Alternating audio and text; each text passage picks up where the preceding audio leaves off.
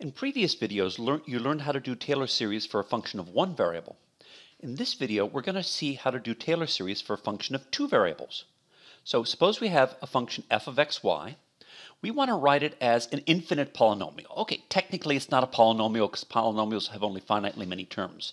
But it's what you get when you take powers of x minus a and powers of y minus b and combine it and take more and more and more terms and a limit.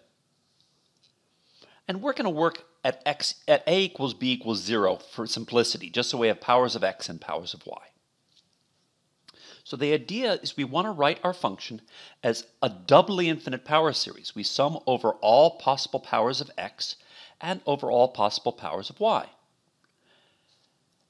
And there are some coefficients, and if you start to write them out, of course, there's a constant term, c0, 0, and then there are linear terms, something x plus something y, and they're quadratic terms, something x squared, something xy, something y squared. There are three cubic terms, x cubed, x squared y, xy squared, and y cubed, and so on. And we want to write our function as an infinite series in this way. Okay, so the big question is how do you figure out those crazy coefficients? CNM is the coefficient of x to the n, y to the m, and how do you figure it out? And we're going to use the same strategy that we used for functions of one variable. So recall that if you had a function of one variable that you wrote as an infinite power series, then if you took its kth derivative, then all the terms with fewer than k powers of x died when you take a derivative k times. And all the terms that have more than k powers of x wind up with some leftover powers of x. And then the term that had exactly k powers of x turned into a constant.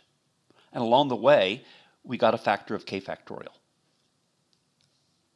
And then if you evaluated this at 0, all the terms with extra powers of x die, and you're just left with that constant. So the kth, derivative at 0 is k factorial times ck. So ck must be the kth derivative at 0 divided by k factorial.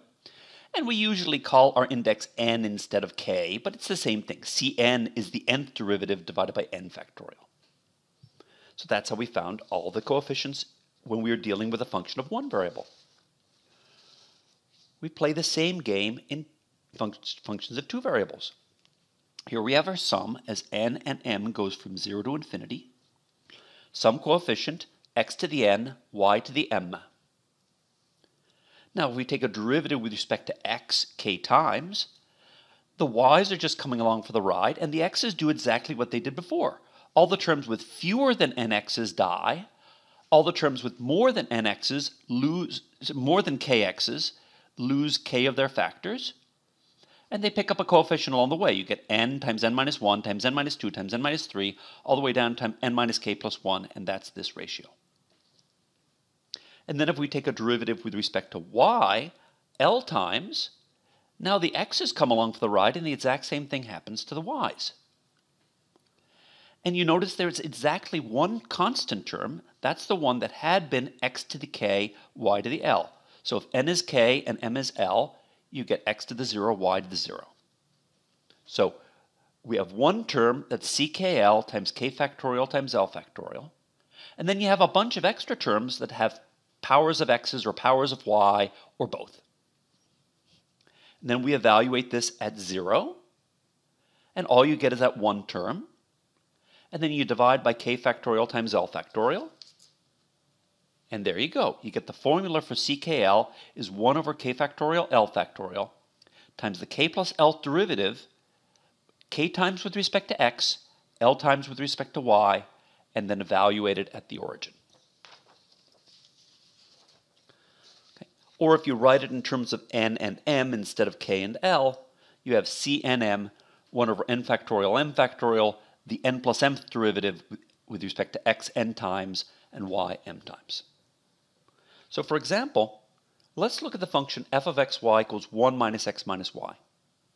If you take the derivative with respect to x, or the derivative with respect to y for that matter, you get 1 over x minus y, 1 over 1 minus x minus y squared.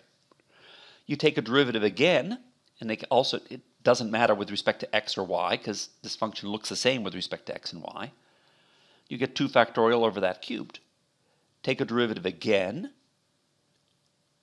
you get 3 factorial over that to the fourth. And really, it's separate calculations, but they all give the same answer. And so if you take n plus m derivatives, n times with respect to x and m times with respect to y, you get n plus m factorial, and this to the n plus m plus first power. Okay? And then you evaluate that at x equals y equals 1, and the denominator is just a power of 1, so that disappears. And so you get n plus m factorial. And that means that our coefficient must be n plus m factorial divided by n factorial and m factorial. So what we've just shown is that 1 over x 1 over 1 minus x minus y can be written as a power series in both x and y. And here is the coefficient of x to the n, y to the m. It's just n plus m factorial over n factorial, m factorial. So what's left? Well, what if you're not working around 0, 0? What if you're working around a point A, B? Well, in one dimension, that just gave you powers of x minus a instead of powers of x. Only now we've also got powers of y minus b instead of powers of y. And instead of evaluating our derivatives at 0, 0, we evaluate them at a, b. In other words, we can write our function as a sum of c and m. n is now the number of powers of x minus a.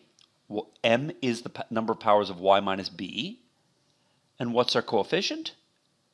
You divide by n factorial m factorial, the n plus first derivative with respect to x n times and y m times, only evaluated at the point a, b. What about Taylor polynomials? I mean, we talked about Taylor series as if you take it all, all the way off to, out to infinity. Well, you can always stop after a few terms. You could just take the constant, and then here are the linear terms, and you right, should recognize that this is the linear approximation to your function. That's if you put z equals this, you'd get the equation of the tangent plane to z equals f of xy. If you add these terms, now you've got the quadratic approximation. And you notice that fxx, since you take a derivative with respect twice, it's 1 over 2 factorial. Same with fyy. But fxy, you take a derivative with respect to x once and y once. So you divide by 1 factorial times 1 factorial, which is 1. So this coefficient is 1, while these are half. Then there are terms with 3 powers, 4 powers, 5 powers, however many, many powers you need. You use as many powers as you want, and that's a pretty good approximation to your function. Now, when we did one variable Taylor series, we spent an awful lot of time talking about convergence. You know, it's a bit trickier in uh, in two dimensions than one, not tremendously trickier, but enough trickier that we're going to just sweep that all under the rug. And likewise, we computed error terms. We said, hey, if you take the fifth order Taylor polynomial, how close does that really come to the actual function? We're not going to do that in two dimensions. It can be done, but it's trickier than one, one dimension. That's a theorem too far.